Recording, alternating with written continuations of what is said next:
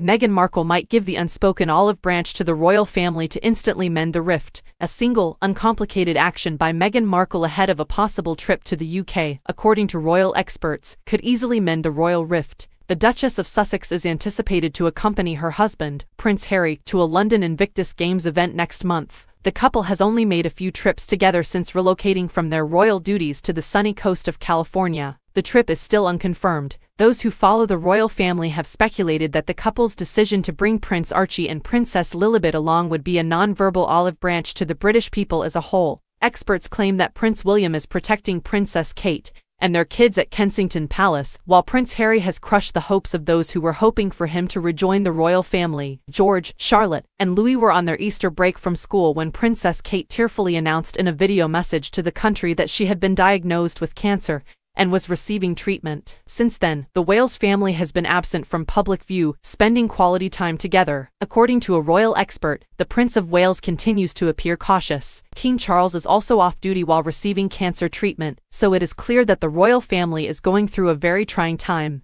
However, Jennie Bond notes that William still seems eager to protect his family, and his timing supports that.